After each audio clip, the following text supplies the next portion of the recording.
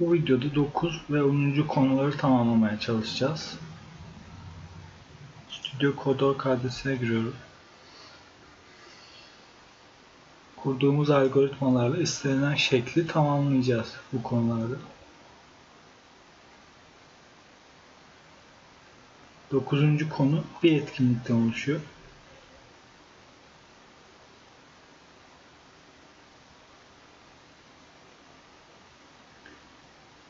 Üç seviye piramit oluşturun. 1, 2, 3 seviyeli bir piramit oluşturmamızı istiyor bizim algoritma ile. Kullanacağımız bloklar burada.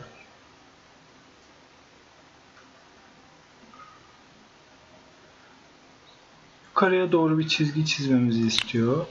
Sağa doğru. Yukarıya doğru tekrar. Tekrar sağa doğru. Tekrar yukarıya doğru. Buradayım. Tekrar sağa doğru. Şimdi aşağı doğru ineceğim. Aşağı doğru bir çizgi. Sağa doğru.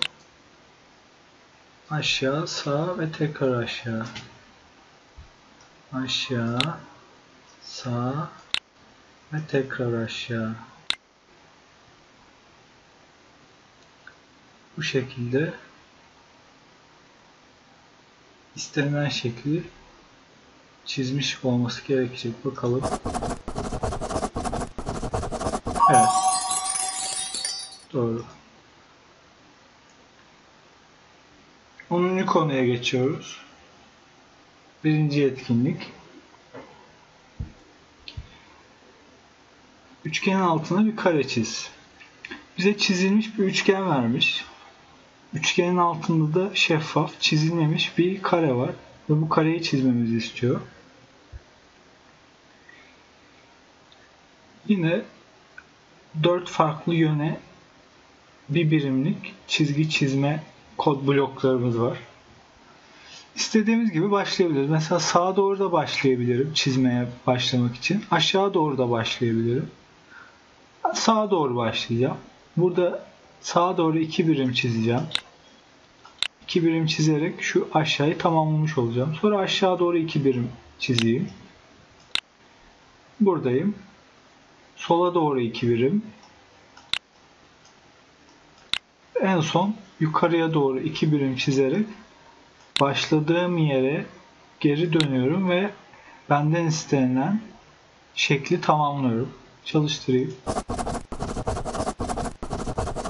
Evet.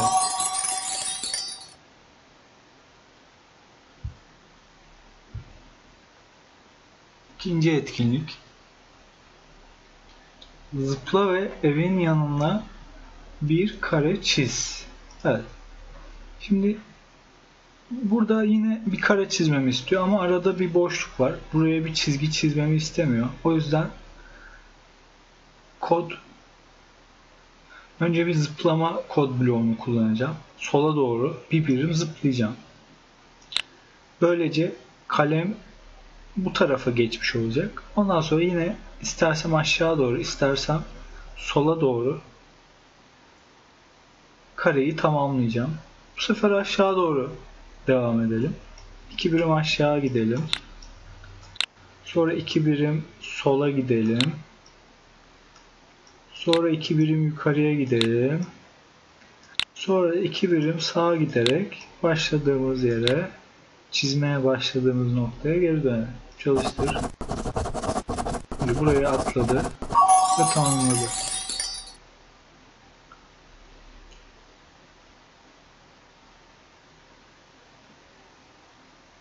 Diğer karenin yukarısına bir kare çiz. Tamam. Evet. Yine benden bir kare çizmemi istiyor. Bu sefer çizmeye başlayacağım yerdeyim zaten. Zaten atlama komutları da yok. Sağa doğru gidiyorum bu sefer. İlk sağa gittim. Tekrar sağa gittim. İki birim çizmiş oldum. Sonra yukarıya doğru iki birim çiziyorum. Bir, iki birim. Sonra sola doğru iki birim çiziyorum. Bir, iki birim. Sonra da aşağı doğru iki birim çizerek benden istenen şekli tamamlıyorum.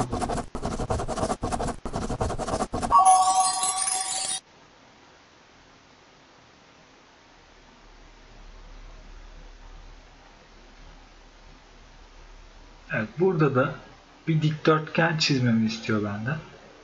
Köprüyü tamamla diyor. Bu bir köprü olarak tasarlanmış. Sağa doğru iki birim ve yüksekliği de bir birim olan bir dikdörtgen bu. O zaman ne yapacağım? Yine bu noktada istersem çizmeye yukarıya doğru başlarım, istersem sağa doğru başlarım. Sağa doğru başlarsam iki birim sağa doğru gitmem gerekecek. Sonra yukarıya doğru bir birim. Sonra sola doğru bu noktadan bu noktaya gelmiş olacağım. Bu noktadan sola doğru iki birim yine. Ve aşağı doğru bir birim. Çalıştırıyorum. Ve köprüyü tamamladık.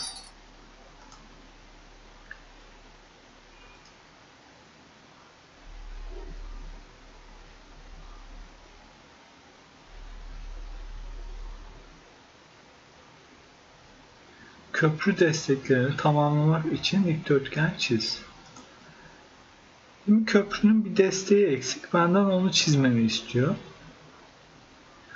Tabi burada yanlış bir algoritma da kurulabilir. Benden istenen şeyin dışında mesela yukarıya doğru 3, 4, 5 birim yukarı gideyim. Farklı bir şey yaptığımda e, bende istenen sorunun çözümü olmadığı için bu algoritma işleyecek. Buraya benim kurduğum algoritmadaki şekil çizilecek ama e, etkinliği geçememiş olacağım. Çalıştırıyorum. Ya bakın farklı bir şekil çizdim ama e, ben de istenen şekli yapmadığım için etkinliği geçemedim. Yeniden başla diyorum. Çöpe atıyorum hepsini. Nedir benden istenilen? Bir dikdörtgen. Yine iki birime bir birim. İki birim yukarıya doğru çizeceğim. Bir, iki birim yukarıya doğru. Sonra yukarıdayken sola doğru bir birim. Aslında burası çizilmiş. Çizilmiş burası ama buradan buradan başladığım için atlama komutumda olmadığı için orayı tekrar çizmem gerekir. Oradan geçmeden benden istenilen şekli tamamlamam bu kod bloklarıyla mümkün görünmüyor şu anda. Tamam yukarıya doğru iki birim gittim. Sola doğru bir birim gidiyorum. Sonra aşağı doğru iki birim gidiyorum. Şu sola doğru bir birim şurayı tekrar çizmek anlamına geliyor. Sonra aşağı doğru iki birim gittikten sonra geriye bir tek sağa doğru bir birim daha gitmek kalıyor. Bakalım. Evet. Bu çizginin üzerinden bir kere daha geçtim.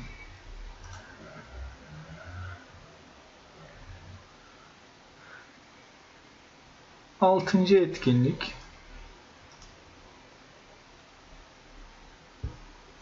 Evet burada yine benden bir dikdörtgen çizmemi istiyor.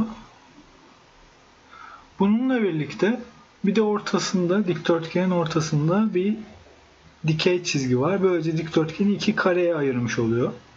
Dikdörtgen yapmak için iki kare çiz.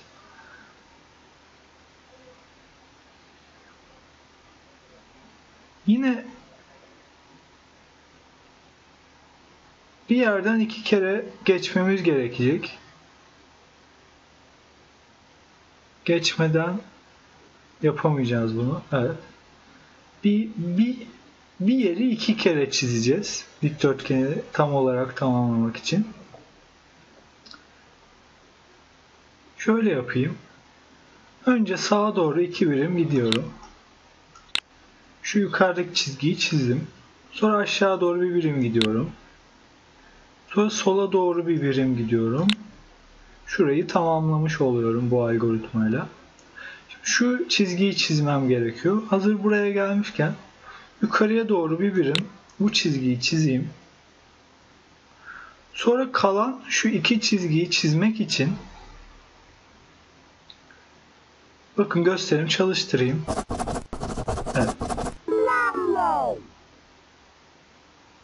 Son komutu yanlış yapmışım. Bunun aşağı doğru değil yukarıya doğru olması gerekiyordu. Evet. Yeniden başla. Çalıştır. Evet. Şimdi bu noktadayken şu iki çizgiyi daha tamamlamam gerekiyor. Ama bu iki çizgiye ulaşmak için yine şu çizdiğim iki çizgiden birini tekrar çizmem gerekiyor. Herhangi birini seçeyim. Tekrar aşağı doğru devam edeyim ben. Aşağı doğru devam edeyim. Şuraya ulaştım. Sonra sola doğru ve tekrar yukarıya doğru. Sola doğru ve tekrar yukarıya doğru gidersem bu sefer geri gelip tamamlamış oluyorum çizgiyi. Şu ortadaki çizgiyi iki kere çizmiş oldum. Kullandığım algoritmada. Bir sonraki etkinliğe geçiyorum. Rafa üst çekmece oluşturmak için bir kare çizin. Evet burada benden yine bir raf çekmecesi oluşturmamı istiyor. Bu sefer 3 birime bir birimlik bir dikdörtgen bu. Yine istersem sağa doğru, istersem aşağı doğru başlarım. Ben sağa doğru başlıyorum. Sağa doğru 1, 2, 3 birim dik bir çizgi çiziyorum. Sonra bu noktadan aşağı doğru bir birim çizdiğimde buraya gelmiş oluyorum. Sola doğru 3 birim çizmem gerekiyor ondan sonra şekli tamamlamak için. Ve son olarak buradayken yukarıya doğru bir birim çizerek istenen şekli tamamlıyorum.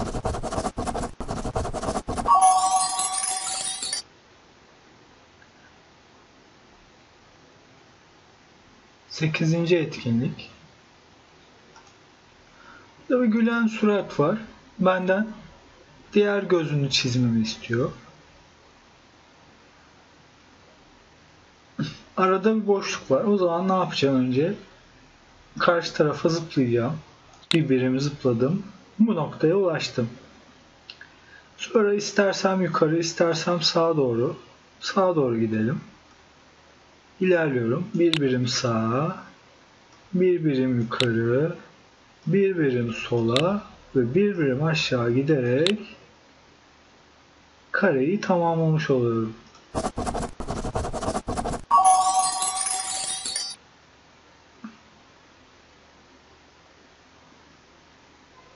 Burada bir test var.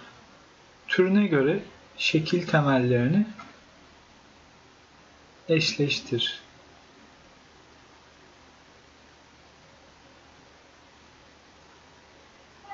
Yuvarlak, kare, dikdörtgen ve üçgen. Yuvarlak, kare, dikdörtgen ve üçgen.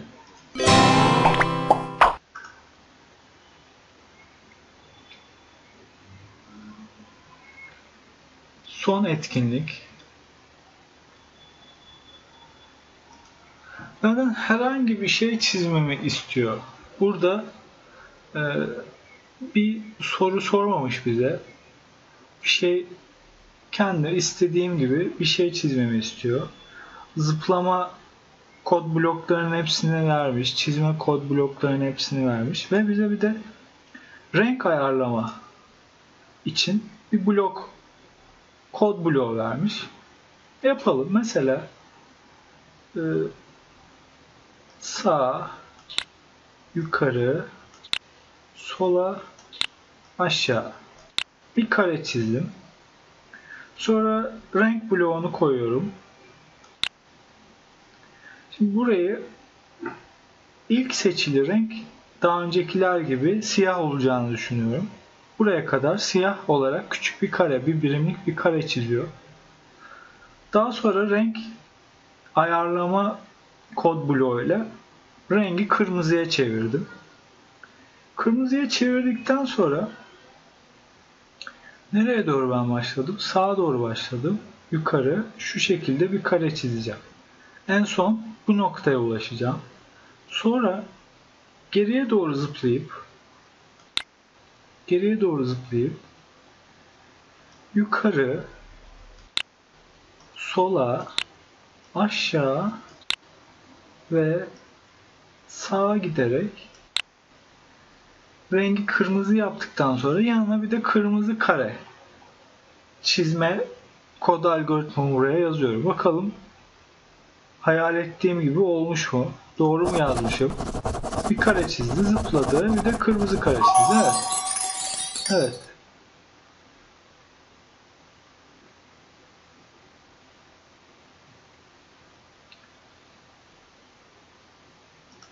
Burada istersem farklı renkler de seçebilirim. Ya da mesela şöyle her bir birimin arasına farklı bir renk ayarlama koyarak kırmızı, turuncu, sarı ve pembe.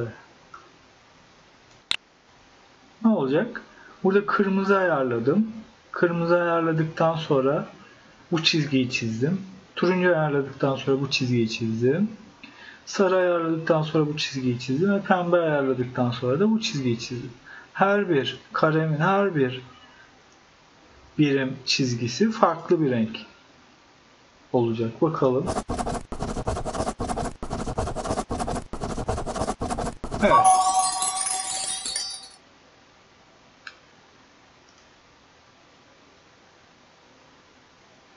Böylelikle bu konunun da sonuna geldik.